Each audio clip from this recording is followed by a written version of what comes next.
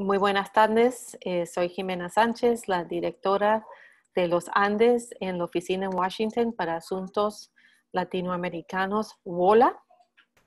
Eh, hoy estamos eh, muy complacidos de tener varias personas de las diferentes regiones de Colombia que nos van a dar su perspectiva acerca de la situación de inseguridad y violencia y en particular las masacres recientes que han sucedido en diferentes partes eh, del país. Eh, la última semana en Colombia realmente ha sido muy compleja eh, debido a todo lo que sucedió en Bogotá con la policía, con las demostraciones y todo lo demás. pero ya desde el principio del año empezamos a ver una situación que se estaba deteriorando y que la pandemia solo eh, agudizó. Eh, mientras que las masacres nunca pararon desde que se firmó el acuerdo de paz en el 2016, eh, sí se redujeron muchísimo a raíz de ese acuerdo y a raíz de los cambios que se están dando en el país. y vemos con mucha, mucha preocupación de que el último año esto está cambiando y la situación se ha vuelto mucho más eh, tensa, más insegura y que en este año se están reportando más de 50 masacres en el 2020. Em, entonces, para entender realmente qué está pasando, qué se puede hacer desde afuera eh, y cómo se pueden prevenir más masacres y cómo se puede hacer para tener justicias para los que han sucedido, hoy eh, tenemos eh, a nuestros invitados.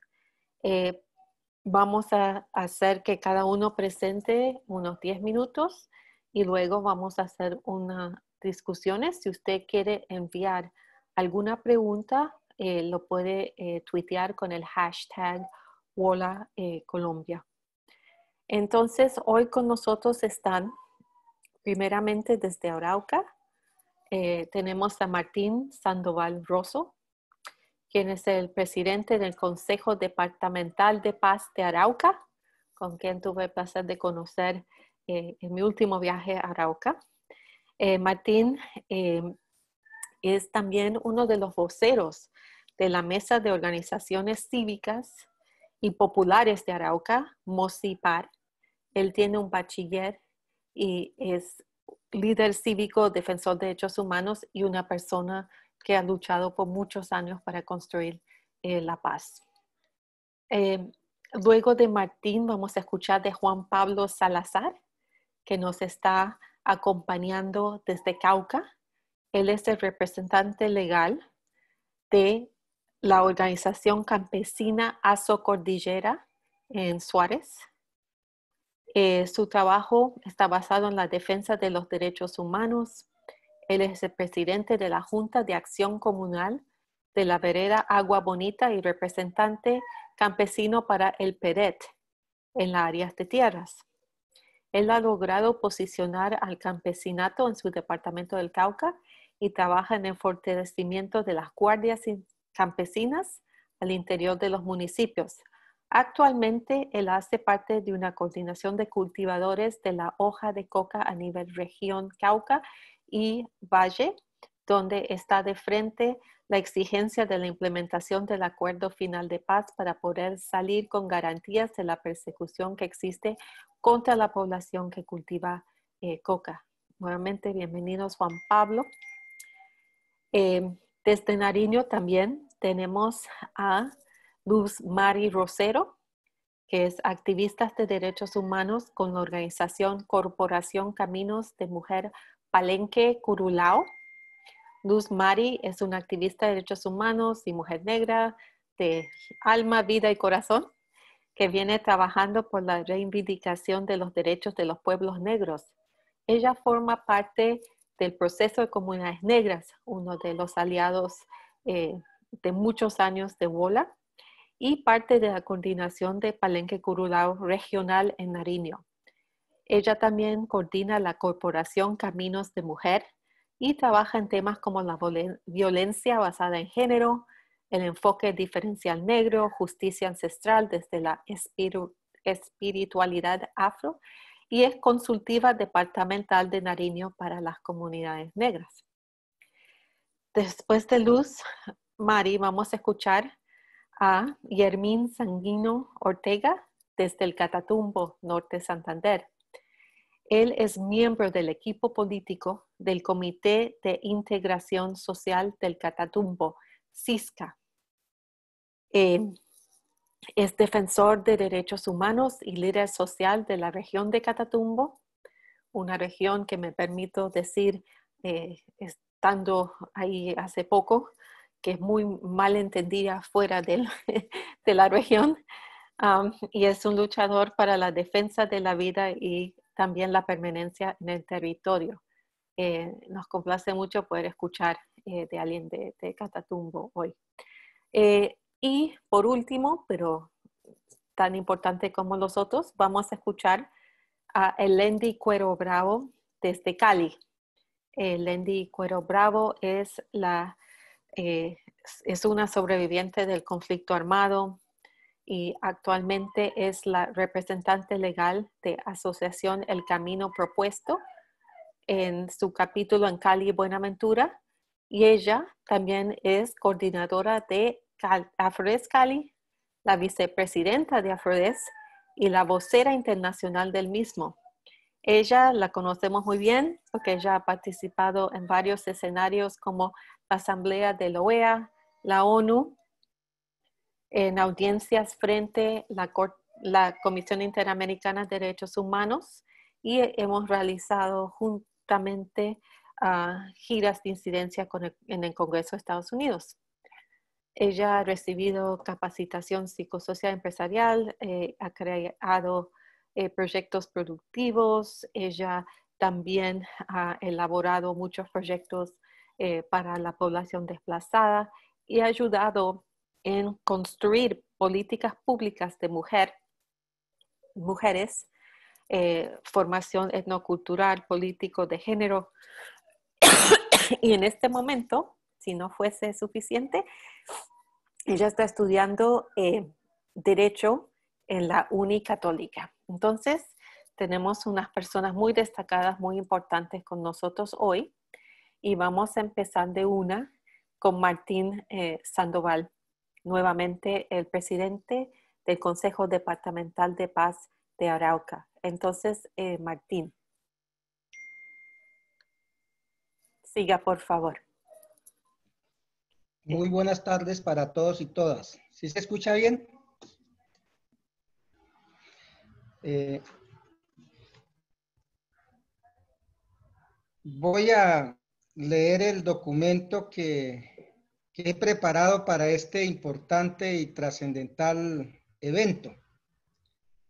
A la letra dice, en nombre de un amplio sector cívico y popular del departamento de Arauca, que cuenta con 283 mil habitantes aproximadamente, compuesto por siete municipios, ubicado en, en el nororiente de Colombia, frontera con la República Bolivariana de Venezuela, expreso un saludo especial, los agradecimientos a la organización WOLA por invitarme y a todos los que participan en este gran evento.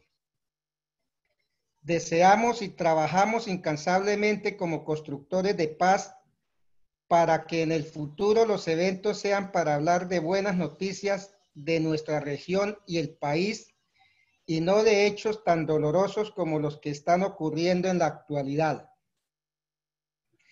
Empezamos significando que las masacres en nuestro país son un fenómeno propio del régimen político que nos gobierna, que entre otras formas de mantenerse en el poder durante toda la historia republicana, las ha utilizado con el argumento maligno de quitarle el agua al pez acallar a la oposición, sembrar miedo, terror y, desplazar limpiando los territorios para apoderarse de las tierras e implantar los grandes megaproyectos, la explotación mineroenergética y facilitar la ruta del narcotráfico.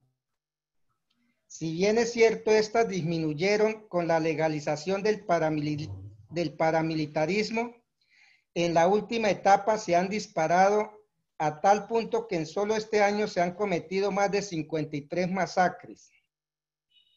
Es sintomático que éstas se hayan acelerado desde el momento en que la Corte Suprema de Justicia dictó detención domiciliaria al expresidente y el senador Álvaro Uribe Vélez por manipulación de testigos.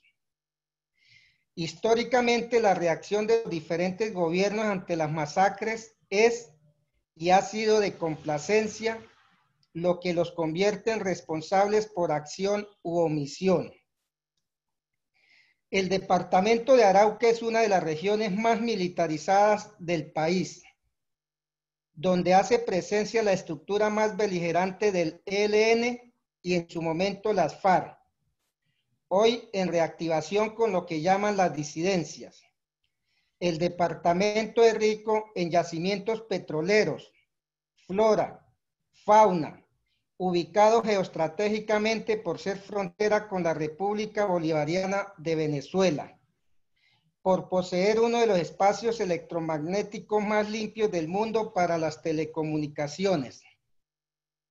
Ante esas circunstancias, riquezas y actores, el conflicto social y armado se desarrolla con intensidad y de manera degradada, donde las masacres han sido una de las formas, entre otras, y quizá la más cruel para facilitar la explotación y explotación de nuestros recursos naturales, especialmente el petróleo. Disputarse el territorio y desde hace más de dos décadas monitorear e inmiscuirse en los asuntos internos del vecino país.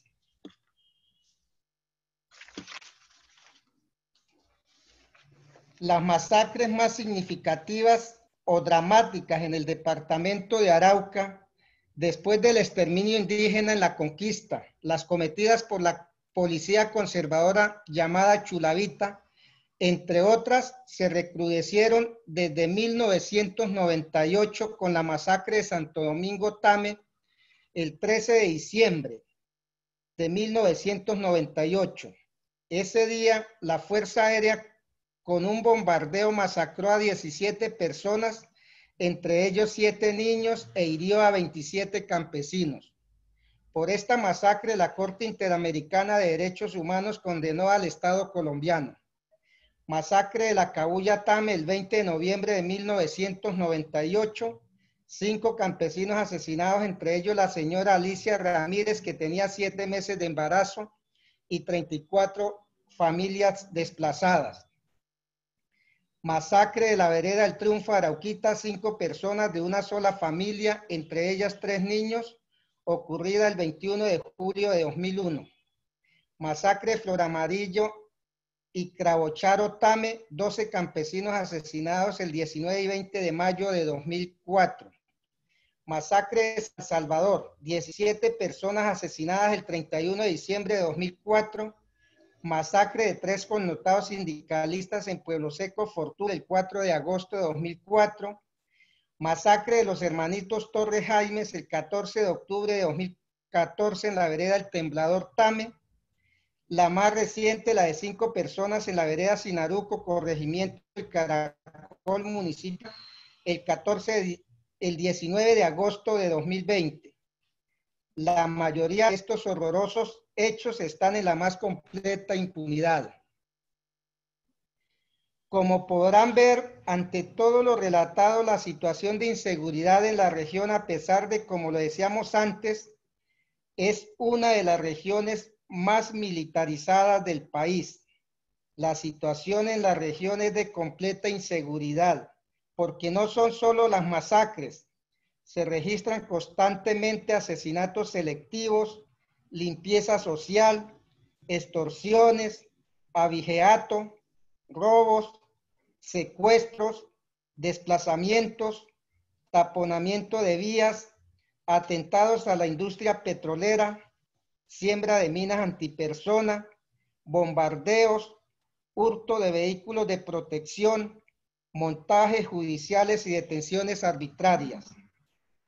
Siendo la sociedad civil sus expresiones cívicas y sociales las más afectadas, las principales víctimas de las acciones de todos los actores. En el caso de las masacres, estas se dan principalmente la herencia y la complacencia de los gobiernos y de sectores de la fuerza pública y organismos de seguridad con los paramilitares y la delincuencia. Consideramos que para que este fenómeno se termine, se debe cambiar la doctrina de seguridad nacional del enemigo interno, depurar el ejército, la policía y los organismos del Estado, implementar integralmente el histórico acuerdo de paz, que la comunidad internacional siga monitoreando la situación del país y exigiéndole al gobierno colombiano resultados en el combate y desarticulación de las bandas criminales de todo tipo y que luche frontalmente contra la impunidad y la corrupción. La prensa y la comunidad internacional nos deben seguir ayudando para visibilizar mucho más nuestra dramática situación, que no se desembolsen recursos dirigidos a la cooperación con las fuerzas militares toda vez que estos son desviados para hacerle inteligencia y perfilamiento a los líderes, a la oposición política y agudizan más el conflicto. Se debe seguir apoyando el diálogo y la negociación y de manera urgente la reactivación de la mesa de conversaciones con el ELN como única forma de lograr la paz completa en nuestra martirizada nación y región. Por último, no es posible que en democracia y desde la firma del acuerdo de paz en 2016 se hayan asesinado más de 1.060 líderes y aproximadamente 247 firmantes del acuerdo de paz. Y el presidente y el partido de gobierno, en vez de aplicar políticas serias que pare este genocidio y brindar verdaderas garantías, lo que se empeñan es en justificar diciendo que es por líos de faldas, por venganzas o problemas personales y o por estar trabajando con grupos al margen de la ley. Y a las masacres que son retaliaciones entre grupos y bandas criminales que se disputan el negocio narcotráfico y el lujo de hasta cambiarles el nombre llamándolas, abro comillas, homicidios múltiples o colectivos también dedica el gobierno y su partido, el Centro Democrático, gran parte de su acción administrativa y legislativa a hacer trizas el acuerdo de paz, volviéndolo inviable en su desarrollo e implementación. El inédito acuerdo de paz entre el Estado colombiano y las extintas FARC fue lo mejor que le pudo pasar al país y a la región en los últimos 53 años de conflicto. Por eso reiteramos el llamado urgente el SOS a la comunidad y a la prensa internacional para que le exijan al gobierno nacional que detenga los intentos siniestros de hacerlo trizas y lo implemente sin vacilaciones y como fue pactado. Prensa y comunidad internacional, donde el gobierno haya cumplido gran parte de lo acordado en el acuerdo de paz, nos hubiésemos evitado toda esta cantidad de masacres que están ocurriendo y los asesinatos de líderes y firmantes del acuerdo de paz. Muchas gracias y un fuerte abrazo de Loca Vibrador con República Bolivariana de Venezuela. Muy amables.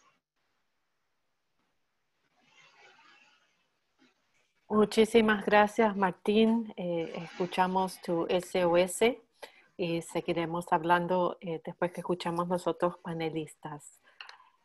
Eh, ahora vamos a escuchar eh, desde el Cauca Juan Pablo Salazar, el representante legal de la organización campesina Ascordillera Suárez. por favor, empiece Juan Pablo. Hola, muy buenas tardes para todos. Un gusto estar con ustedes aquí en este espacio Saludo especial a nuestros compañeros de eh, Arauca, Nariño, Valle y el norte de Santander. Eh, a ustedes como WOLA por la invitación, agradecerle mucho. Mi nombre es Juan Pablo Salazar Rivera, Eh, soy el representante legal de la Asociación de Trabajadores Campesinos de la Cordillera del municipio de Suárez, a su cordillera, eh, miembros de Pensuagro, de la coordinación del proceso de unidad popular del suroccidente colombiano. Eh, nosotros estamos situados sobre la zona noroccidental del departamento del Cauca, específicamente sobre la cordillera occidental del país. Eh, tenemos una importante eh, riqueza en minerales, agua, flora, fauna, eh, y, y, resaltamos que por esta situación de, de, la riqueza hídrica que hay en nuestras comunidades y demás, hay también intereses externos de parte de, de, muchos actores sobre nuestros bienes y es por eso que desde, desde la, después de la firma del acuerdo de paz del 2016 de gobierno con la FARC, eh, se viene presentando eh, múltiples homicidios selectivos a defensores de derechos humanos en todo el departamento del Cauca, en esta región, eh, donde en algunas ocasiones también se han presentado varias masacres registradas por la prensa a nivel nacional e internacional. Eh, este, esta situación de, que se viene presentando, eh, del resurgimiento de, nuevamente de los grupos eh, u organizaciones al margen de la ley, eh, crea un espacio para que las juventudes empiecen a, ingresar nuevamente a, estas organizaciones. Desde allí donde también eh, se ha aumentado el riesgo, de la inseguridad también para los territorios, por lo que eh, eso representa eh, en, términos de disputas territoriales, pues también confrontaciones que terminan afectando a la población civil y, y, a todos los procesos que se van llevando paso a paso. Nuestra eh, nuestra zona de acá del departamento del Cauca, especialmente el norte, ha sido víctima de muchas, muchas eh, masacres eh, de gran magnitud, como lo fue la masacre del Naya, de la región del Naya, donde en, entre los años 2002 hubo una, incursión paramilitar y los intereses de antes siguen siendo los mismos de hoy, controlar la zona y también eh, poder eh, avanzar con la estrategia del modelo de desarrollo que, que, el gobierno nacional viene planteando o planificando para nuestras comunidades con eh, el, tema de, de, explotación a gran escala de las minas de, de, oro y también queriendo o ha querido seguir refrescando las, las fuentes hídricas, los ríos de estas zonas a las cuales las comunidades han hecho siempre oposición. Eh, quiero comentar que en gran parte el despojo, el desplazamiento, toda esta cuestión de, violación de derechos humanos también que existen son consecuencias del abandono estatal. Nuestras comunidades eh, esperábamos del acuerdo de paz una real intervención por medio de la reforma rural integral, por medio de los, de eh, PISDA, del, Programa Nacional de Integral de Sustitución, el PENIS, inversión en los territorios eh, y hasta el momento estos recursos que han llegado eh, no han sido, no se ha implementado el, acuerdo de paz hasta el momento. nosotros como, como comunidades continuamos exigiendo que, que se cumpla el acuerdo de paz el, cumplimiento del acuerdo de paz eh, será el resultado para poder frenar esta ola de violencia que, hoy está azotando al, país entero. Acá no se necesita la militarización de los territorios, acá no necesitamos un proyecto a gran escala como lo vienen planeando con el, el modelo de desarrollo que quiere implementar este gobierno. Acá lo que necesitamos realmente es inversión, es educación, son las vías, que eh, nuestros hijos puedan acceder a la educación superior. Es por eso que las comunidades hoy agremiadas en diferentes organizaciones étnicas, sociales y de, de hecho los cultivadores de hoja de coca siguen firmes a pesar de que no se pudo firmar eh, o, avanzar en, la implementación del, punto 4 del acuerdo acá en esta zona, siguen firmes planteando la sustitución o la voluntad de sustitución eh, concertada con el gobierno nacional. De hecho, esta semana hay una reunión importante en Santander de Quilichao el próximo jueves, con que se ha solicitado un espacio con el, eh, la oficina de la Alta Consejería para la Paz, el, señor Emilio Archila. Vamos a ver cómo, cómo avanza esto, pero, pero creemos que esa es la salida. Se han venido trabajando proyectos de, de, mm, alimentos, de implementar algunos otros modelos de, alternativos de, eh, de economía, pero es muy difícil sin el apoyo institucional y tener al menos asegurada una comercialización para que nuestros campesinos puedan salir a otros eh, escenarios que no sea el de la coca. Eh, nosotros, de acuerdo a lo que viene pasando a nivel nacional, creemos de que es importante que se haga de fondo una reforma al adoctrinamiento militar, porque lo que sucede en los territorios es que cuando el campesino mira a la fuerza pública, los ve con temor. ¿Por qué los ve con temor? Porque eh, en muchas ocasiones han usado desmedidamente la fuerza. En muchas ocasiones, cuando ellos violan el derecho internacional humanitario y las comunidades se atreven a ir y hablar con ellos, a exigir respeto por, el derecho, por los derechos, terminan estigmatizados, terminamos siendo eh, señalados como líderes sociales, como organizaciones de, terroristas o de narcotraficantes. Y entonces no hay ese, esa, realmente esa, confianza hacia ellos y uno mira que de, ellos hacia nosotros está pasando igual. Ellos miran en el campesino a un enemigo.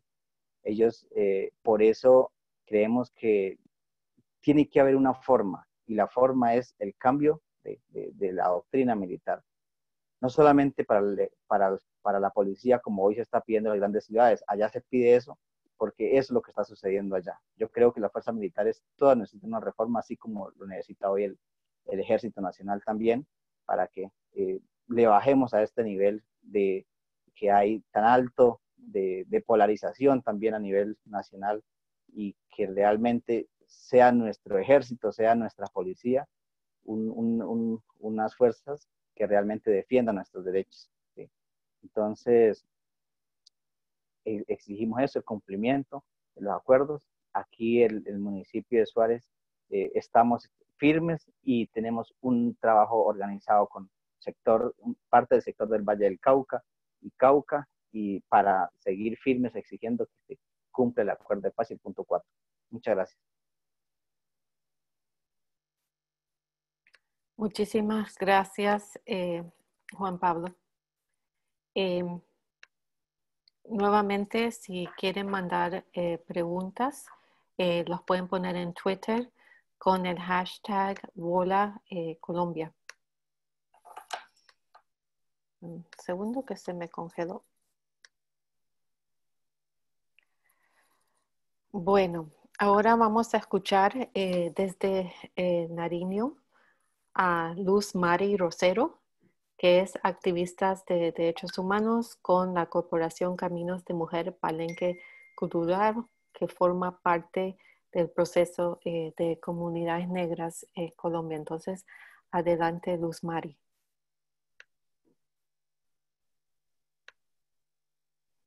Eh, no la estamos escuchando. Eh, ¿Puede poner volumen?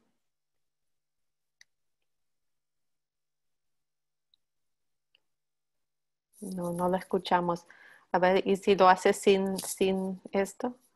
A ver si escuchamos.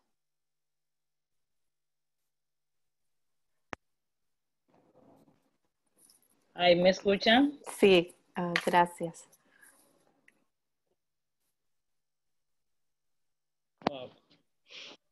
Perdón. Siga, por favor. Hola, ¿me escuchan?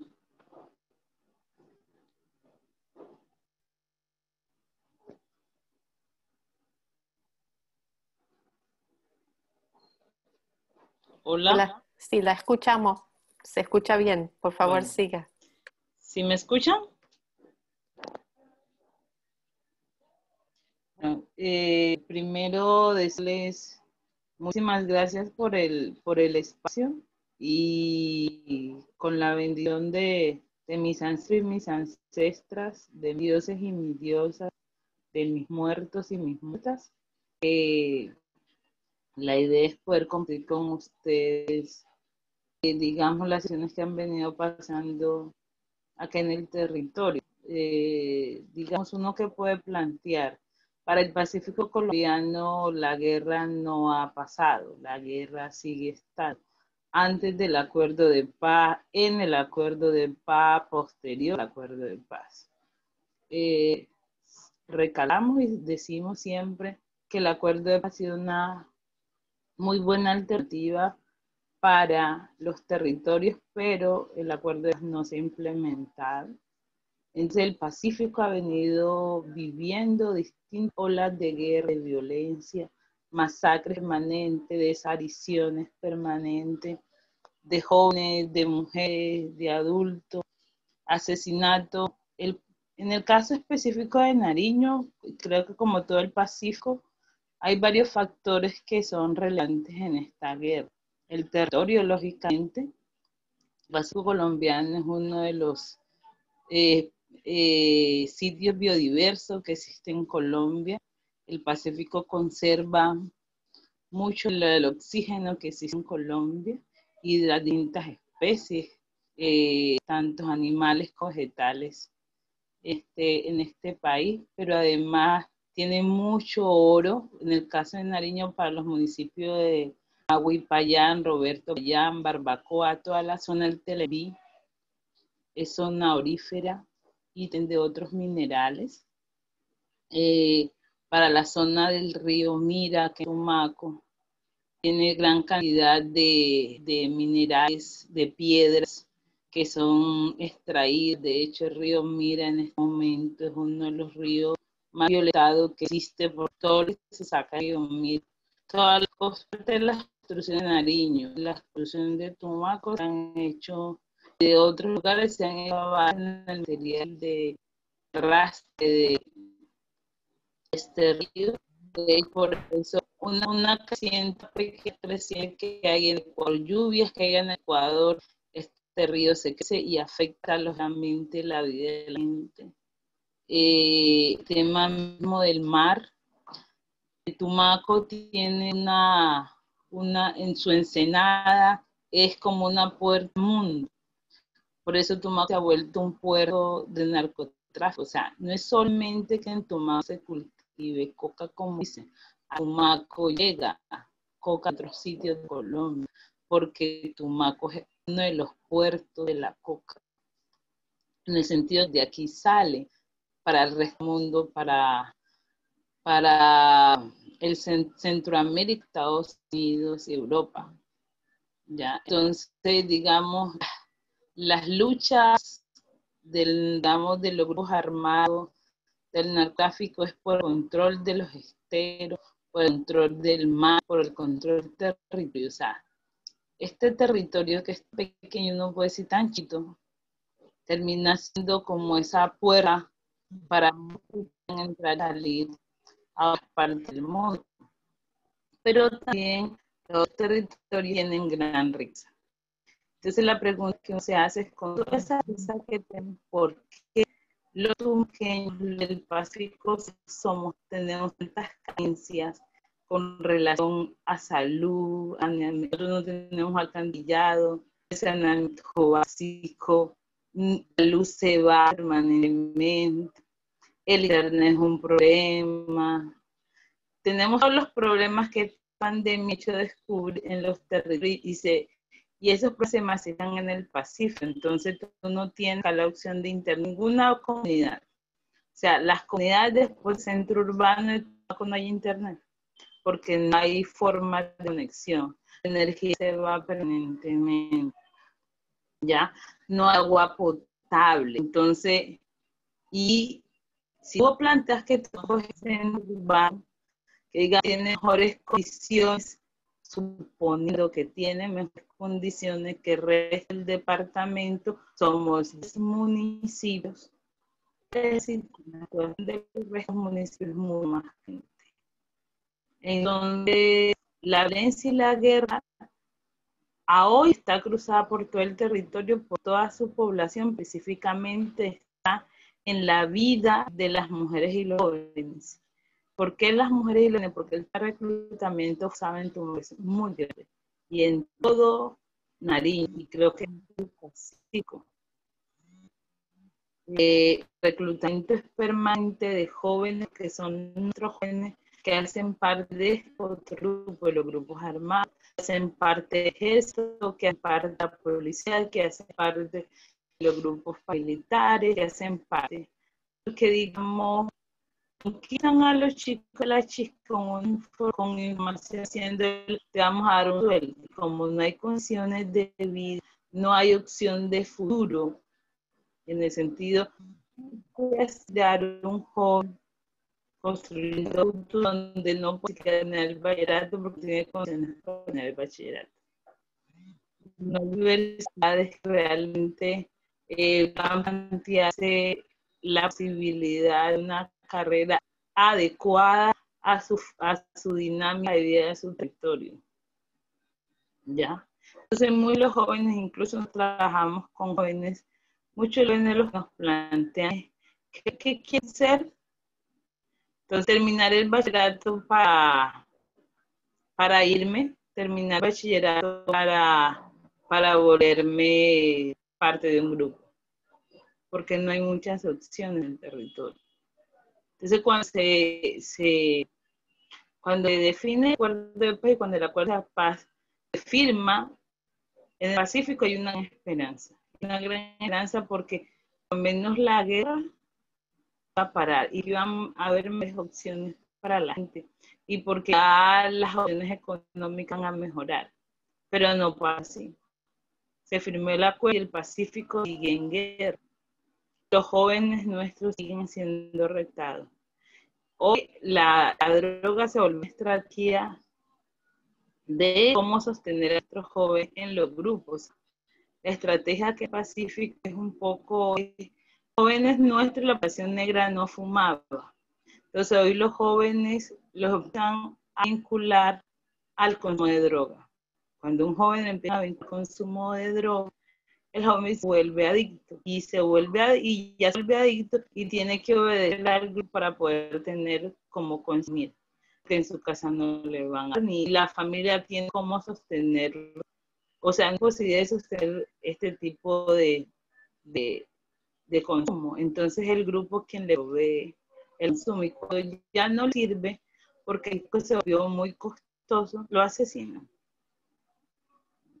Entonces estas prácticas y muchas otras están dejándonos sin opción con nuestros jóvenes, nuestras jóvenes. Y, y no se deja por fuera de las mujeres, la violencia de las mujeres, los maltratos a las mujeres, los asesinatos a las mujeres, la vinculación como prostitutas o como chicas de los grupos armados. Entonces a las chicas se las llevan. Que las chicas quieren irse, no es que se las llevan.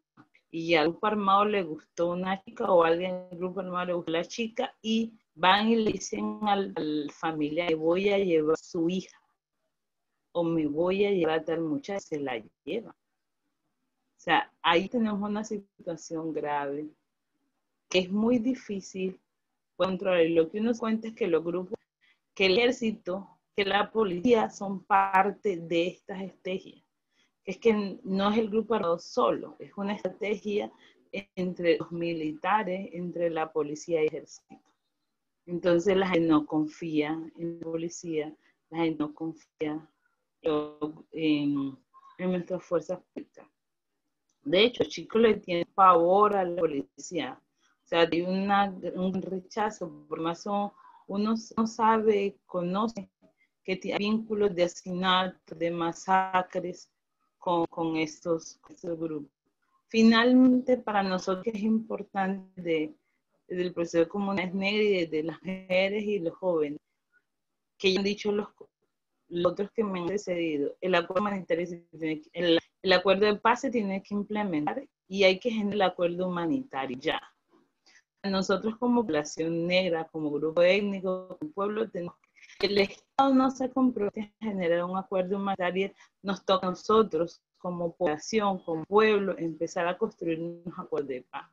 Un acuerdo de paz con los actores, pero también internamente con nuestra población, con todos los actores que están en el territorio y mirar cómo vamos a construir una relación con nuestra gente que está entre los armados. Porque no fiamos a hoy como está política, como está la situación, no fiamos que el gobierno tenga la atención y vaya a generar acuerdos que efectivamente le sirvan a la población y específicamente al pueblo negro para obtener mejor condición de vida y para poder desarrollar al interior de las comunidades estrategia de un buen Pero además es necesario empezar a construir procesos que pueden generar opciones de vida mejor para nuestra población, para nuestros jóvenes, volver a recuperar nuestra estrada y cuando recuperar, refiero a que hay que retomarla, que por toda esta situación que ha pasado con nosotros, hemos ido perdiendo lo que son como pueblo negro, desde el ancestral, de la construcción espiritual. Y eso es parte de toda la estrategia que tenemos que volver a, a encontrar camino como negro en compañía, lógicamente, de otra gente que nos quiera ayudar, de otra gente que esté puesta a construir con nosotros, porque nosotros, el principio de soy porque somos, es un principio de solidaridad y el principio del Ubuntu. Y desde ahí construimos bien porque no somos solos, no somos solos. Y el principio de soy que somos un principio fundamental para construir este país y en el mundo una forma eh, sin racismo y discriminación nos lenta a todos y a todas. Somos distintos, pero somos parte del planeta, somos parte de este mundo. Tenemos que construir en conjunto como pueblos, como comunidades, como grupos únicos, porque este planeta es nuestra casa.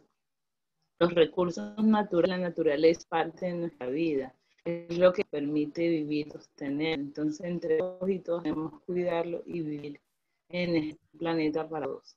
Muchas gracias, eh, Luz Mari. Eh, pienso que en este grupo de gente que está escuchando va a ser muchos que están eh, básicamente eh, como aliados para ayudar a construir este mundo diferente que está pidiendo. ahora vamos a seguir con Yermín Sanguino Ortega que es miembro del equipo político del Comité de Integración Social del Catatumbo. Él es defensor de derechos humanos y líder social en esta región. Eh, Yermín, por favor, siga. Muchas gracias, Jimena. Hola, eh, muchas gracias por la invitación.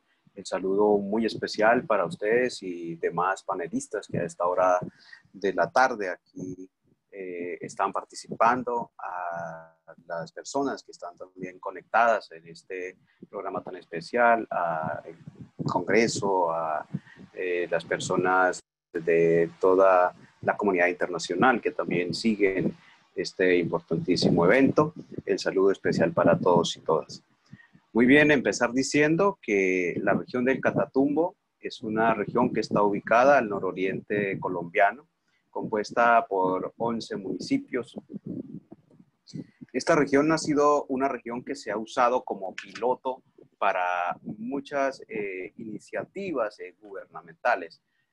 Por ejemplo, en la región del Catatumbo nace el piloto de la industria petrolera del país, es decir, es aquí donde eh, nace la primera explotación petrolera en el país y de ahí pues en adelante se empiezan a desarrollar en otros eh, departamentos o regiones del país. Desde esos inicios de la colonia, pues todo esto viene acompañado consigo de una serie de agresiones en contra de los sujetos sociales y que habitan los territorios, por empezar diciendo el exterminio, casi exterminio del pueblo indígena barí. Eh, desde esa época, estamos hablando de 1930, más o menos, la época de la, la colonia, de la bonanza petrolera. Asimismo, toda esa situación de abandono lleva a que esta región del Catatumbo tenga en sus municipios unas necesidades básicas insatisfechas alrededor del 65%. En la región del Catatumbo podemos tener un médico por cada 5.000 habitantes o en casos hasta un médico por cada 7.000 habitantes y en contraposición a eso existe un médico, mejor, un soldado por cada 7 habitantes. Es decir, son realidades bastante adversas para la región del Catatumbo, es decir, que puede oscilar en una región de entre 170 mil, 200 mil habitantes, puede haber 17 mil efectivos.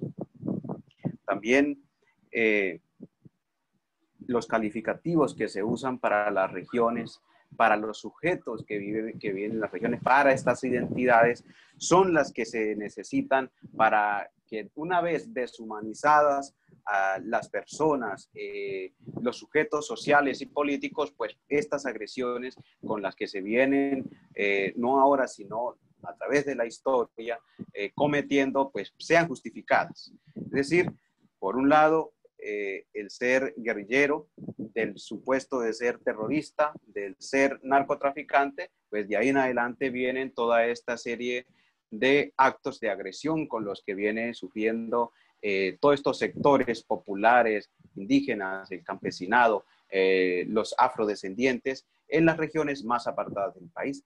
Es decir, cerca de 54 eh, masacres que en lo que va corrido del año dan fe de ello. Es decir, que se necesita no solo masacrar a las personas, sino a las identidades, porque aquí existen identidades para para este sistema, para este modelo, que no se necesitan, que no las necesita el modelo. Es decir, no necesitan indígenas, no necesitan el campesinado, no necesitan de los afrodescendientes, en últimas, no necesita que haya pobres. Este tipo de, situaciones es la que lleva a que pues, se vayan eh, profundizando en las condiciones de guerra en el país. Es decir, que aquí no se ha cesado, hubo una cierta calma después de eh, el acuerdo, pero en regiones como el Catatumbo eso fue muy momentáneo y hay una, con lo que consideramos nosotros analizando, una profundización de la guerra en este último periodo. Eh, cuando entra el presidente Duque, lo anunciamos, es decir, que los problemas que viven las regiones eh, son tratados a través de la fuerza y la represión que consideramos es la vía que menos se debería usar, en donde las prioridades para estas regiones deben ser, en medio de esta pandemia, deberían ser garantizar condiciones de salud, condiciones de educación, garantía de derechos para las personas y las respuestas son mayor militarización, mayor represión y desde luego darle solución a los problemas eh, a través de la fuerza esto trae consigo en que la región del Catatumbo, en lo que va corrido el año, se hayan registrado cinco masacres. Cinco masacres en lo que va corrido del año, pero también indicar que este año estábamos conmemorando 21 años de la masacre cometida por los paramilitares en la Gabarra, que es uno de los hechos emblemáticos, eh, donde se ha incluso eh, culpado a la, eh, digamos, a la eh, falta o la connivencia o la falta de garantías a esa población de la Gabarra por parte de la fuerza pública. La masacre del 21 de agosto del año 99 y ahí mismo pues empieza una serie de masacres en la región del Catatumbo. estas las que van ocurridas en este año todas eh, han tenido también eh, como epicentro la zona de frontera, es decir, en los límites entre Cúcuta, Puerto Santander, Tibú, más hacia la frontera, acompañado a esto también eh, no solamente las masacres de personas, sino también vienen, se han registrado cuatro ejecuciones extrajudiciales los mal llamados falsos positivos que, que pues siempre la fuerza pública eh, trata de, camuflarlos o ahora las masacres tratando de maquillarlas con el nombre de asesinatos eh, colectivos, es decir, que son una masacre cometida por los actores, es decir, del, de la guerra, de la, de la violencia, en este caso la mayoría de ellos por grupos paramilitares que están en una disputa territorial eh, en, la, en, la, región con los diferentes actores. Eh, cabe resaltar que en esta región existen todas las insurgencias eh, que han habido en el país, pues están también han tenido vida en esta región del Catatumbo. Entonces, eso pues también ha llevado a que sea una región altamente en una dinámica del conflicto permanente y pues desde luego en una disputa territorial, pues también que no, cesa.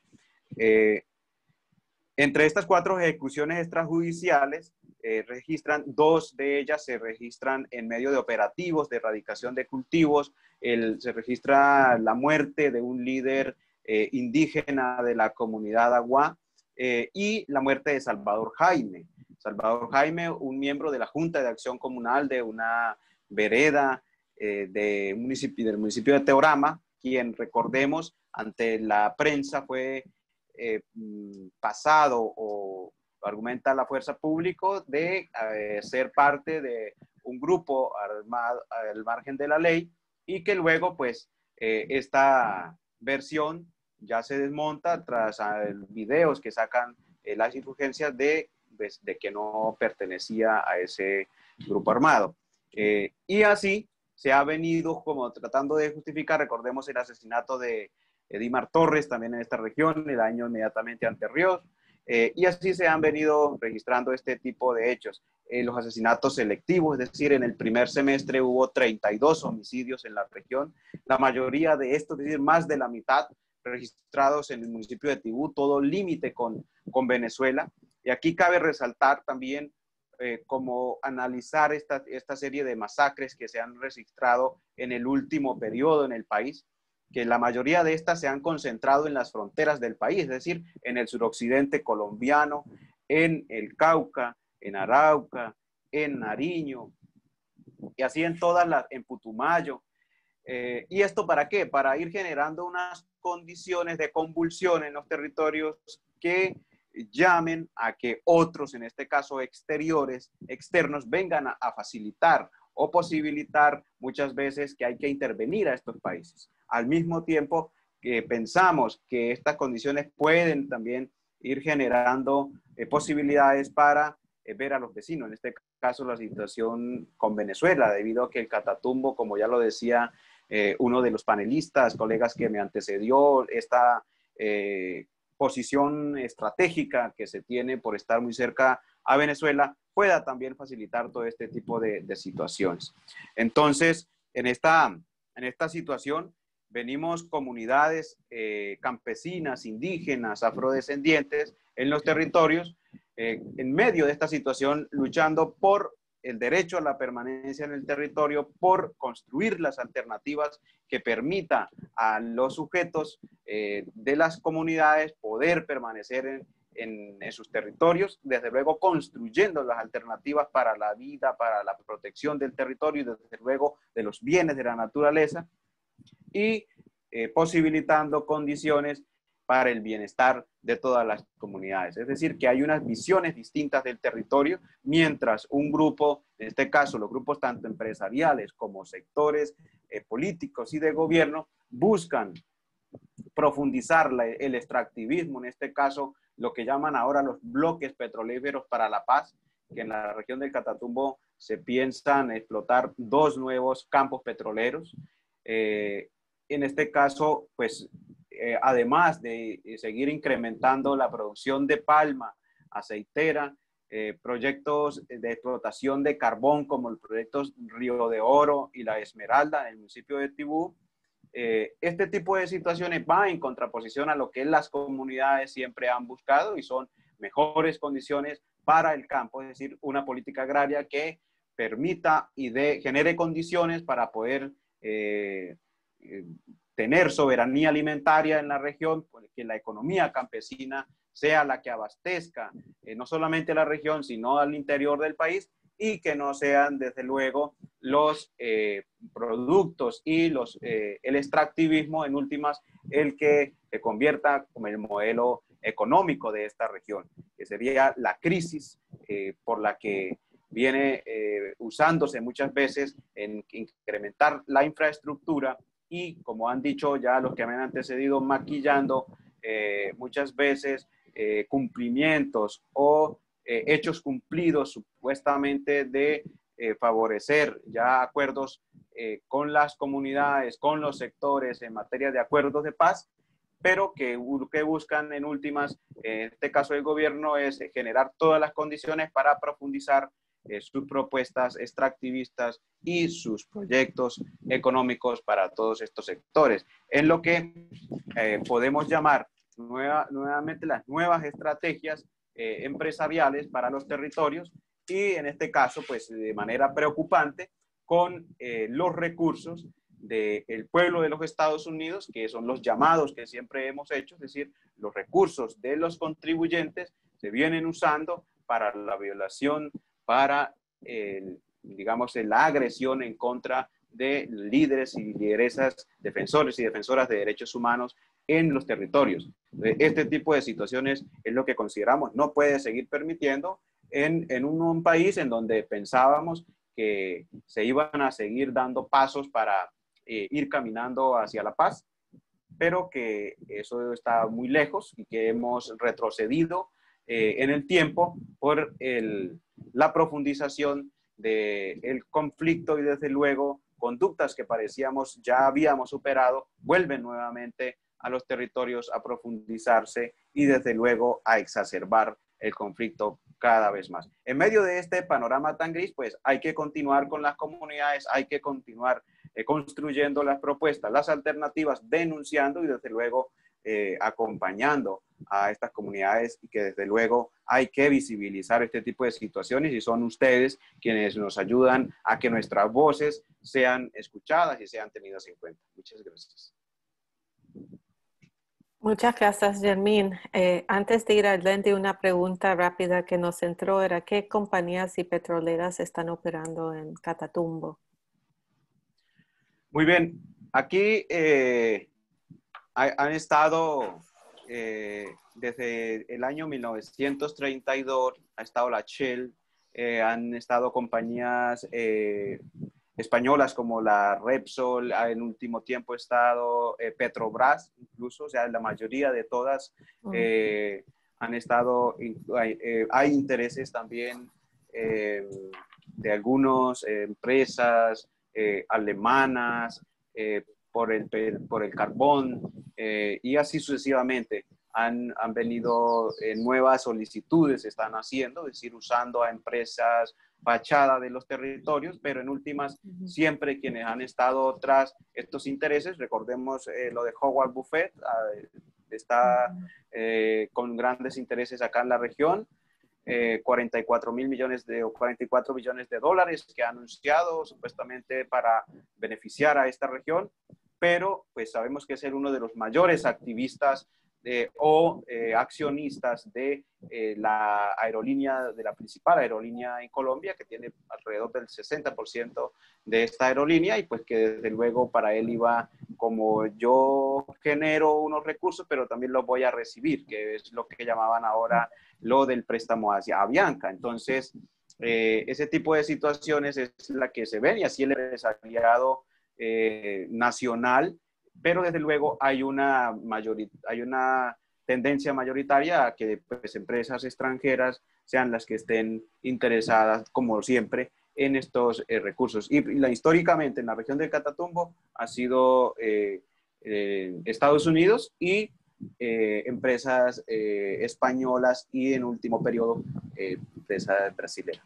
Bueno, ahora muchas gracias Vamos a seguir con Elendi Cuero Bravo desde Cali, eh, Colombia. Eh, Elendi es la vicepresidenta de Afrodes Nacional, la coordinadora de Afrodes Cali y desafortunadamente hace poco tiempo, y ella nos va a contar, hubo una masacre eh, terrible en Llano Verde, uno de los asentamientos más grandes de personas afrodescendientes desplazadas. Entonces, Erlendi, tienes la palabra. Gracias, Jimena. Buenas tardes. Eh, un saludo especial para Jimena, para Wola, por ser unos aliados incondicionales para nuestro proceso, que nos han apoyado mucho en la visibilización de todas estas situaciones tan adversas que vivimos. Un saludo también para mis compañeros y mi compañera de panel e igualmente a la audiencia que nos acompaña. Bueno, yo me encuentro en la ciudad de Cali, que es una ciudad en el departamento del Valle, es la ciudad con mayor número de población afrodescendiente, la segunda ciudad con mayor número de población afrodescendiente en Latinoamérica. Pero de esa misma manera, pues también es una ciudad con un alto índice de discriminación estructural racial esta ciudad, por ser la capital del Valle y del Pacífico, es receptora de más de 215 mil víctimas del conflicto armado. Y el 80% de estas víctimas son parte o son comunidades afrodescendientes, donde eh, cuando se llega a una ciudad como Cali, pues efectivamente las víctimas se trasladan a vivir a los asentamientos subnormales, subnormales o los sitios denominados zonas rojas, que son similares de violencia a la que se vive en el Pacífico colombiano en estos últimos tiempos. Las oportunidades más complicadas para las comunidades afrodescendientes es la generación de ingresos. ¿Por qué? Porque en estas, como una ciudad capital, pues para ingresar o para tener un empleo digno se requieren de unos estándares, mínimos de educación o de formación. Y las comunidades negras pues no cumplen por ser eh, la población que viene de, de estos sitios eh, lejanos, sitios marginados, sitios que han estado eh, históricamente abandonados por el Estado. Y eso hace que pues, se tengan que dedicar a la venta de frutas ambulantes, empleadas domésticas, eh, trabajos como construcción, y que esto significa también, en el caso de las mujeres, dejar sus hijos solos mientras cuidan hijos ajenos. En este mismo sentido, digamos, la pandemia ha profundizado esa, esa crisis humanitaria que hemos vivido como comunidades afrodescendientes, digamos, haciendo que todo este abandono estructural se pueda visibilizar más fácilmente. Con esto, pues, eh, hay que decir que dentro de la problemática que más eh, nos preocupa es la pérdida de identidad cultural, sobre todo en nuestros niños, niñas, adolescentes, porque al ser, digamos, eh, las comunidades afrodescendientes para muchos un reflejo de personas negativas, eh, un color que no es deseado, pues hace que nuestros niños se sientan que no quieran ser afrodescendientes y que haya, digamos, un rechazo también a ellos por serlo, en las mismas aulas de clase, por su misma condición étnica racial, porque son niños y niñas y adolescentes que vienen de con unas particularidades y especificidades que los hacen más vulnerables.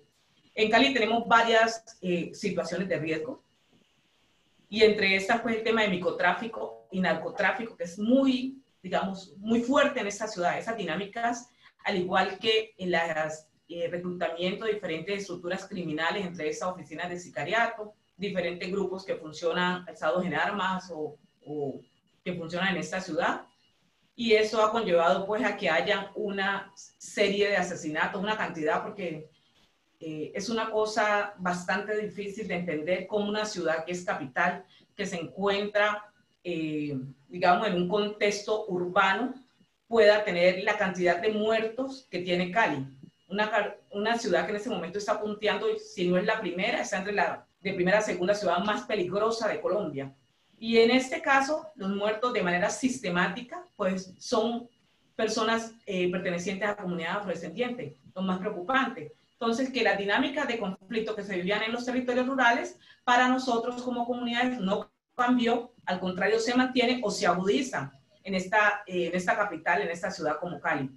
Dentro, digamos, el tema que también viene de manera muy fuerte es el tema de prostitución, tanto en mujeres y niñas, que a la falta de oportunidades laborales, la única manera de sobrevivir es a raíz de, esta, de este oficio que efectivamente no ha sido una, una labor propia de una mujer afrodescendiente y mucho menos campesina. La falta de oportunidades de educación y las pocas cuando las tenemos, digamos, eh, nuestros muchachos llegan, como decía Luz Mari, llegan y terminan el bachillerato o la secundaria y frente allí se quedan eh, frustrados porque no pueden acceder a la educación eh, profesional, a la educación universitaria y que hace que las oportunidades pues tengan que dedicarse a otras cosas que no serían las apropiadas. Y eso también hace camino con las diferentes estructuras criminales para que hagan parte o se enganchen ahí porque allí no hay, digamos, un tipo de restricción. Dentro de estas situaciones que preocupa es la falta de articulación institucional. Parece que tuviéramos un gobierno eh, caminando por un lado y la población afectada por otro, sin que haya, digamos, esa necesidad de buscar que hayan planes, programas o proyectos que conlleve a cambiar o a mejorar las condiciones de vida de estas personas, en este caso personas, población negra, población indígena, población campesina, que ha llegado a esta ciudad y las que históricamente han permanecido en este caso como comunidades negras acá. Eh, dentro de los hechos lamentables, quiero eh, meterle a, o entrar a contarle un poco lo que sucedió el 11 de agosto, que nos masacraron cinco niños, pero también mencionarle que no ha sido la única, los únicos niños masacrados. Hemos encontrado en otras comunas niños picados, eh, hemos encontrado otros niños muertos en similares condiciones, como se encontraron los cinco niños en Llano Verde. Y también hablarles de Llano Verde. Llano Verde es un barrio que 80% de su población reubicada allí es afrodescendiente y es población, el 76% víctima del conflicto armado. Pero este barrio, digamos, que se consideró que cuando se entregaba, no iban a vivir personas, sino que se llevaban quién sabe qué tipo de, eh, de, especie humana a vivir allí porque no contábamos con colegio, no contábamos con guardería, no contábamos ni siquiera con transporte y el centro de salud apenas inició o hizo su apertura para atención apenas este mes en siete años que lleva este sector. Digamos un sector sin ningún tipo de oportunidades, donde a la fecha han masacrado, han asesinado de manera sistemática a más de 200 niños niñas, adolescentes y jóvenes. Digamos, un registro que parece que solamente reposa en la memoria nuestra, porque efectivamente eh, en el gobierno municipal, departamental y nacional parece que tuviesen desconocimiento de esto que ocurre en este sector. El, como encontramos los niños en ese cañaduzal, fueron los niños eh, torturados, niños de 14 y el mayor tenía 16 años, niños que eran estudiantes, niños que eran deportistas, niños que bailaban, entre ellos. Niños que encontramos con quemadas, con de, quemada, de quemaduras, eh, degollados, con disparos de gracia, y al lado de una fosa que nosotros consideramos, eh, digamos, llegamos a preguntarnos que si no las familias no salen en la búsqueda, posiblemente iban a desaparecer estos niños. Pero fue más fácil para algunos, que no sé si vuelve una publicidad pagada, que empezaran a girar mensajes que los niños eran unos eh, bandoleros, que los niños tenían conductas ilícitas, para poder justificar que los hubiesen eh, masacrado de esa manera. Porque difícilmente uno puede, como ser humano, como madre, cuando ya viene un conflicto armado, cuando ha vivido una situación es tan difícil encontrarse en una ciudad con este tipo de cosas que le quiten a un hijo de esa manera es difícil de entender cómo en este país, digamos, se pierde o se termina con la vida de la niñez, desde el entendido que tampoco lo que ocurrió en Cali es la única masacre en Colombia y como han mencionado los compañeros, pues son varias, varias masacres que han ocurrido en el Cauca, en Nariño, digamos, y otros territorios. Los muchachos de Samaniego, que es bastante difícil uno cómo, cómo puede, digamos, aguantar eh, Colombia este tipo de situaciones. Para nosotros consideramos que si bien uno no puede generalizar al Estado total, en este caso a los funcionarios, hay algunos con una voluntad, pero la mayoría que tienen voluntad son personas que no tienen ni los recursos ni pueden tener decisiones de fondo en un gobierno que conlleve a decir pues, hay una voluntad de poder avanzar frente a lo que hay. Y entonces quiero referirme eh, también en este momento a las propuestas que considero que eh, necesitamos, que la cooperación internacional, el pueblo de los Estados Unidos, los, eh, la cooperación internacional de diferentes lugares puede apoyar, y es la necesidad de que el gobierno apoye y fortalezca esos acuerdos de paz. Digamos, no consideramos que nosotros como colombianos y colombianas no podemos, no hay excusa o no es nada válido que nos sigamos masacrando, que se siga, nos sigan masacrando porque efectivamente nosotros como población étnica no tenemos armas. En este caso, entonces no estamos en medio del conflicto y por tanto es necesario que haya viabilidad de esos acuerdos de paz, que no haya más obstáculos para impedir que esa paz eh, logremos aportarle lo que falta, reconstruirla en condiciones de que nos genere tranquilidad para todos y todas en este país. De, ese mismo, de esa misma manera, eh, se requiere que la cooperación internacional apoye con recursos económicos a estos procesos comunitarios, a estas organizaciones, porque la mayoría de recursos pues van al Estado y efectivamente a las comunidades muy poco lo que le llegan. Entonces, por eso es importante que se trabaje con los grupos étnicos, las comunidades campesinas, para que ellos mismos puedan seguir fortaleciendo, digamos, sus iniciativas, trabajando en comunidades del entendido que es imposible eh, si no hay un apoyo mantenernos en esta dinámica como estamos. Asimismo, se requiere un acompañamiento fuerte para los líderes y lideresas y los grupos étnicos y campesinos para seguir visibilizando toda esa situación que se vive en Colombia desde el entendido que eh, si no logramos sacar esta situación de este país, que haya una veeduría internacional, que haya eh, estos organismos como WOLA, como el Instituto, Instituto sobre Raza, Igualdad de Derechos Humanos, Amnistía Internacional, ayudándonos a trabajar frente a estos hechos, pues efectivamente estamos solos y va a ser más complicado contrarrestar todo este tipo de acciones negativas que conllevan al exterminio de las comunidades. Porque parece que hubiese un plan de exterminio para todas esas comunidades pobres, porque uno no puede entender que en vez de poder, digamos, haber avanzado en acabar con este conflicto interno, hoy nuevamente se haya recrudecido de tal manera el conflicto que terminan masacrando eh, por donde quiera que vaya en diferentes lugares a nuestros niños, niñas y adolescentes y los líderes sociales, por supuesto. Dentro de eso, también se requiere que haya un acompañamiento fuerte para trabajar con la niñez. Los niños, las niñas, los adolescentes y los jóvenes requieren fuertemente, al igual que las mujeres, el apoyo de estas organizaciones, organismos internacionales, desde el entendido que debemos preparar a los niños para estudiar, no preparar a los niños ni a los jóvenes para que sean una dinámica de violencia y que las mujeres, las que parimos los hijos, tengamos que estar enterrando a nuestros hijos sin que haya ningún tipo de, digamos, de protección a estos hijos nuestros, porque a nosotros y a nosotras como familia que nos duele nuestros hijos y no queremos seguirlo perdiendo.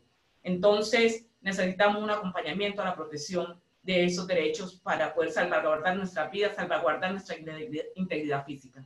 Muchas gracias, Jimena, muchas gracias, compañeros, y las audiencias que todavía nos acompañan, que nos acompañan. Bueno, muchísimas gracias a todos y todas por sus valientes eh, presentaciones. Eh, pienso que escuchamos muchas similitudes en términos de la estigmatización, criminalización de ciertas regiones, de ciertos grupos, eh, de diferentes eh, eh, etnias y también estatus social. vemos una presión de los megaproyectos, un modelo económico que no va con la situación de las personas en, varias partes.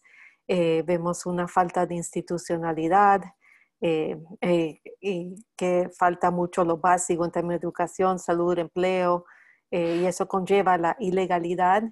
también hemos escuchado que la militarización eh, realmente no ha sido la respuesta.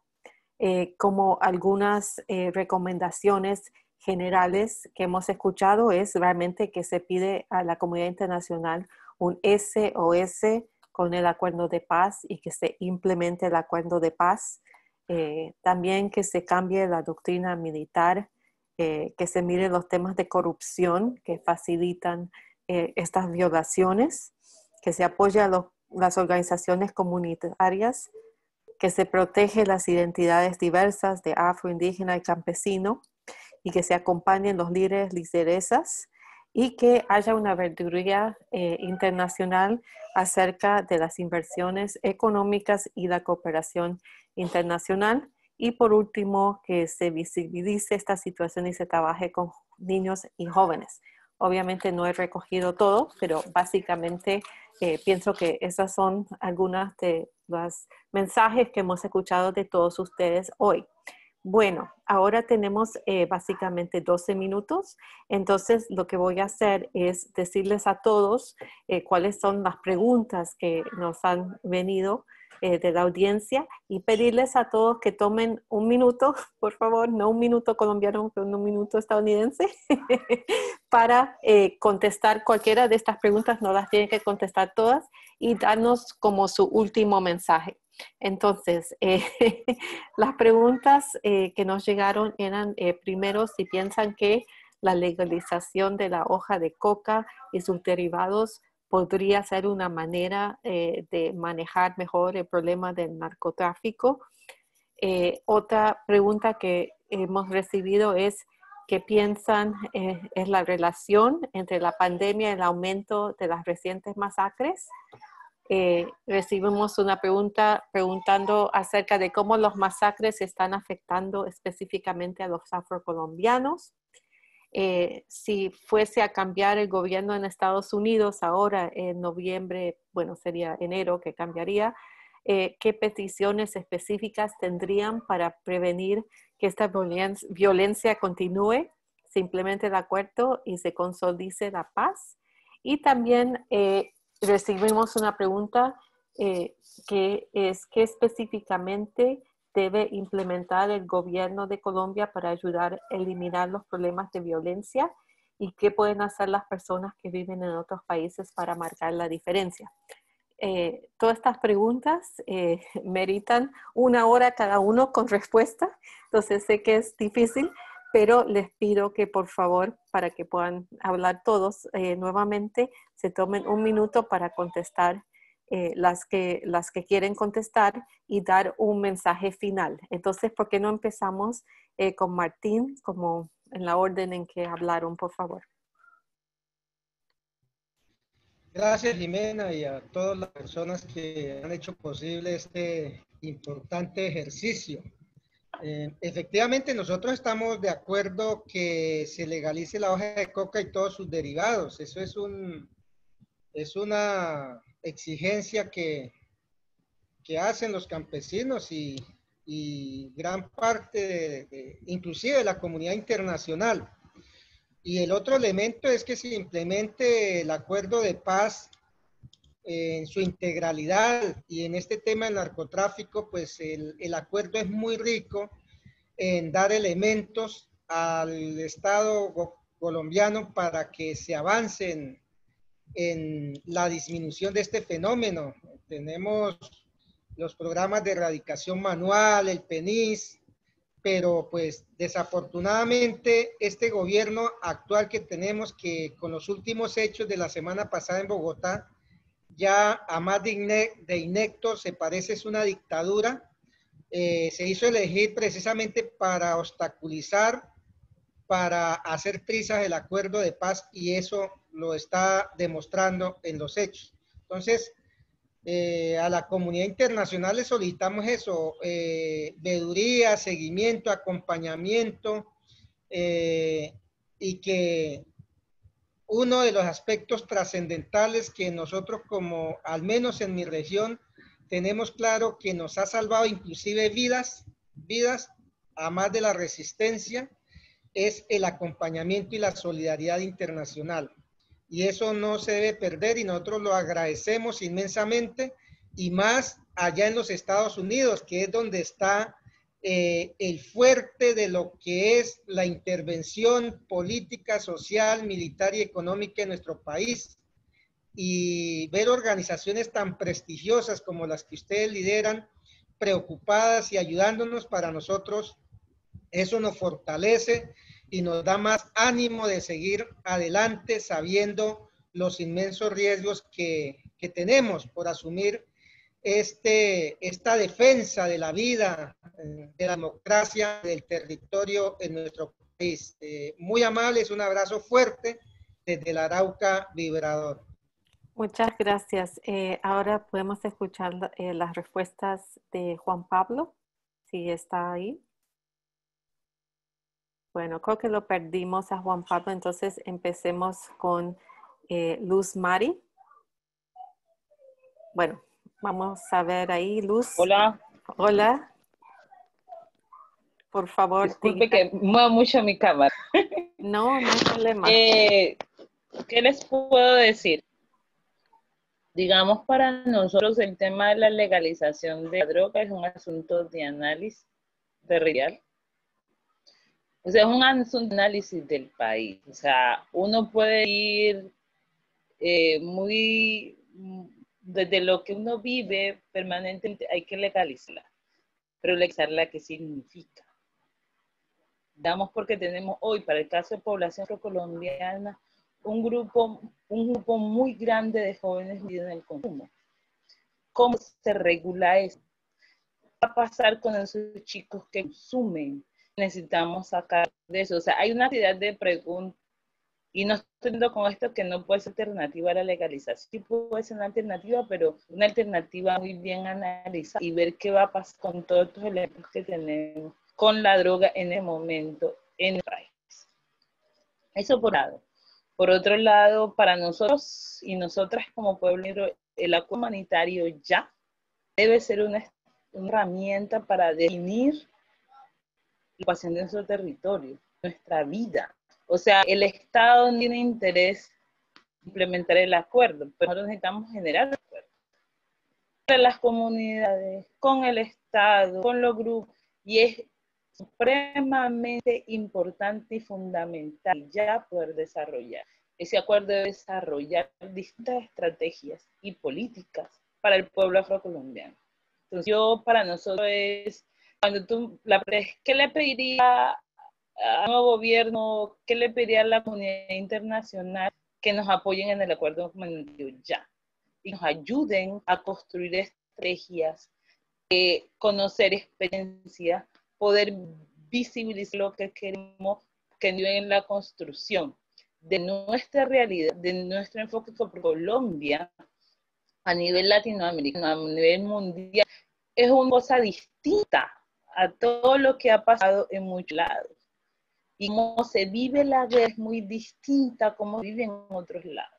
Entonces, es el apoyo, pero tener en cuenta esa especificidad de este país. Los grupos, pues estamos aquí, estamos los indígenas, estamos afro, están los están los, los campesinos, gente campesina, o sea, tenemos una diversidad de grupos y de diversidad de gente organizada y también una economía que es una de las mejores de Latinoamérica que por intereses individuales no vamos a aprovechar de la mejor manera y que, la, y que los pueblos no se... Hay un dato que, por ejemplo, para fue sorprendente.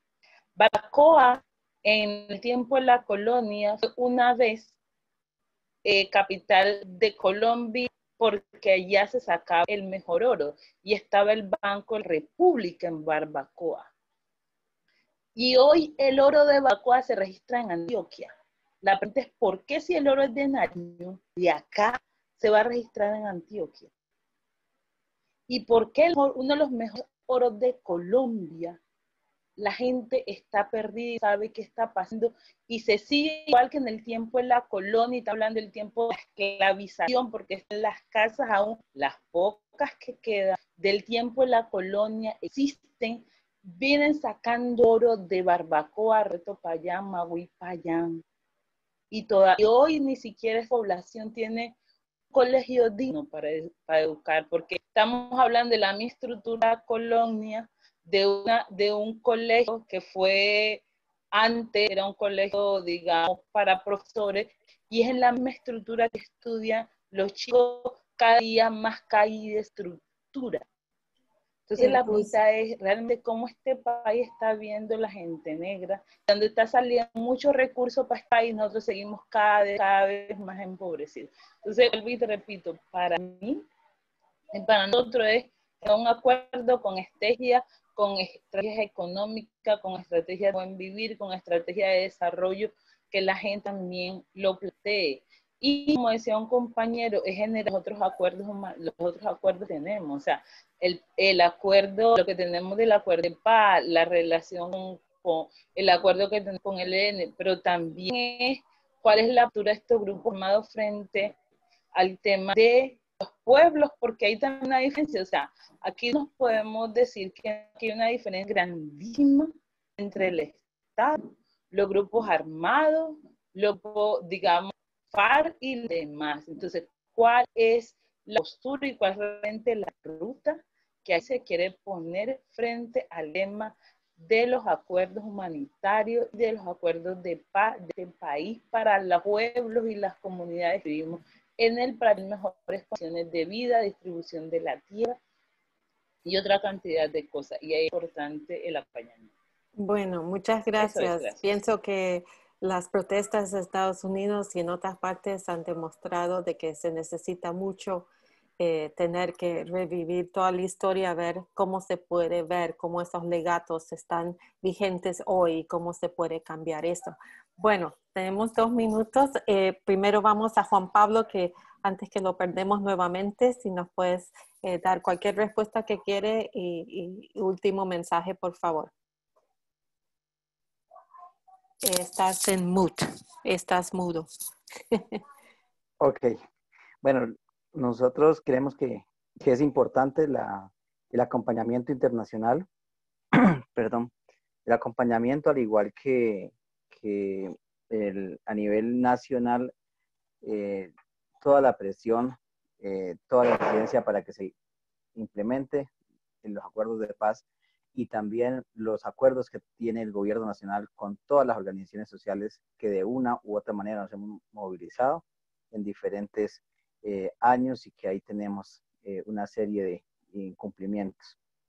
Por último, eh, solicitar que el gobierno nacional reactive la mesa de diálogo con el ELN. Creo que se hace urgente que haya ese diálogo con ellos y a la misma vez lo que la compañera plantea, que se pueda abrir un espacio para escuchar a estas organizaciones alzadas en armas que dicen estar en contra de la opresión estatal para escucharnos, a ver cómo, cómo, cómo es que realmente se plantea esto y, y tratar de salir de, este conflicto por la vía negociada como siempre se ha planteado. Bueno, muchas gracias. Eh, eh Muy bien, muchas gracias, Jimena. Eh, bueno, frente a la primera pregunta, en donde pues, se hace alusión a la legalización de la hoja de coca, estar diciendo que eh, pues para este caso sería un buen avance pues, debido a que en el caso del narcotráfico como tal, como conducta, digamos, va más allá de, la hoja de coca, es decir, que el narcotráfico eh, obedece a unas conductas de la economía global eh, y que en este caso el campesinado de las tres eh, eh, fases de la cadena no maneja ninguna, es decir, ellos no manejan ni el control, ni la distribución, y mucho menos los derivados, es decir, que la coca no, la base de coca no es cocaína y mucho menos la hoja. lo que sí exigimos, desde luego, es, pues, pues, es un buen paso, es que si eso deriva en que haya una transformación distinta a que la política agraria vaya en que genere condiciones para el campesinado y que pues esto pueda eh, trascender a que sea la economía campesina la que perviva en las comunidades, desde luego, lo que siempre hemos eh, eh, muy, pues, desde luego ha, ido la comunidad posicionando. En relación de la pandemia con el incremento de las masacres, es decir, que el gobierno ha usado estos tiempos de pandemia, es decir, ha inhabilitado de cierta manera durante principios del aislamiento al Congreso para empezar a decretar eh, situaciones que fueron eh, usadas para usurpar, para ir profundizando. En este caso, eh, la fuerza pública ha ido incrementando su accionar, digamos, llegando al punto de neocolonialismo, el fascismo más radical, presentado, recordemos, el 21 de marzo en las cárceles, una masacre de 23 personas personas, 80 heridos, es decir, que ni siquiera a los eh, presos de la libertad se les da condiciones, sino que pues también son víctimas de este tipo de hechos. Eh, al mismo tiempo, pues Estados Unidos en su gobierno, es decir, que ha facilitado todo este tipo de prácticas que se vayan eh, pues dando en el país, pues es bastante grave, es decir, por eso decía, lo que los contribuyentes del pueblo de los Estados Unidos hacen a, al Producto Interno del, país, pues se está reflejando en agresiones, en violaciones de derechos humanos en otras eh, latitudes y, esto sí pues lo debería revisar el Congreso en su conjunto. Eh, y en el caso del gobierno colombiano, eh, ya lo han dicho, que me, me antecedieron, es retomar ah, los caminos de diálogo con los diferentes sectores de la sociedad civil, de los diferentes actores armados. ¿Por qué? Porque ha estado demostrado que la solución a los problemas se hace por la vía de la concertación, por la vía del diálogo y desde luego reconociendo a los sujetos sociales y políticos que pues tienen sus propuestas en sus territorios. eh, a la comunidad internacional, desde luego, su solidaridad, visibilizar las voces, eh, las propuestas de lo que realmente sucede en los territorios. Es decir, no es solo una postura gubernamental de lo que se quiere eh, posicionar ante la comunidad internacional, que lo hacen los gobiernos, pero son los pueblos, son las comunidades los que realmente saben que, de qué vienen siendo víctimas. Bueno, muchas gracias. Ahora, Lendy, te damos la, la última palabra de cierre. Gracias, Jimena. Yo considero que en el caso de las comunidades afrodescendientes, sí, la pandemia agudizó su situación, desde el entendido que la actividad económica, pues efectivamente son de subsistencia del rebusque diario, y ese rebusque diario implicaba salir a la calle, y al tener un, esa prohibición, pues efectivamente la gente no se podía mover, haciendo que su condición cada día mejorara, sin que, digamos, el gobierno le interesara eh, protegerlas que es lo más delicado en ese caso para nosotros como comunidades negras. Sabía lo que iba a pasar, pero tampoco se eh, logró avanzar en la intención o la voluntad política para poder ayudar a las comunidades, aún pues agudizando esa situación en los territorios. Eh, para terminar, entonces, considero que el llamado nuevamente es al acompañamiento, Jimena, a que los gobiernos de, de, los Estados Unidos y posiblemente cuando haya el cambio, eh, puedan fijar fuertemente su mirada en Colombia para visibilizar y hacer acompañamiento a la crisis humanitaria que ha generado toda esa situación de masacres, como también, digamos, las consecuencias que ha dejado la pandemia, y para poder eh, lograr avanzar en la protección de la vida y de los derechos humanos. Muchas gracias a todos y a todas. Bueno, eh, nuevamente muchas gracias a Martín, a Yermín, a Juan Pablo, a Luz Mari, y a Lendy por este gran esfuerzo. También quisiera agradecer a ICIAR y también a Esperanza, eh, las personas que nos ayudaron con la traducción, y también a Matthew, eh, mi asistente, eh, muy comprometido y decirles a todos que obviamente este conversatorio abrió muchísimas otras preguntas y temas, entonces eh, vamos a seguir profundizando en estos temas y esperamos que nos sigan siguiendo en los futuros temas y eventos que vamos a hacer. Muchas gracias nuevamente y buenas tardes.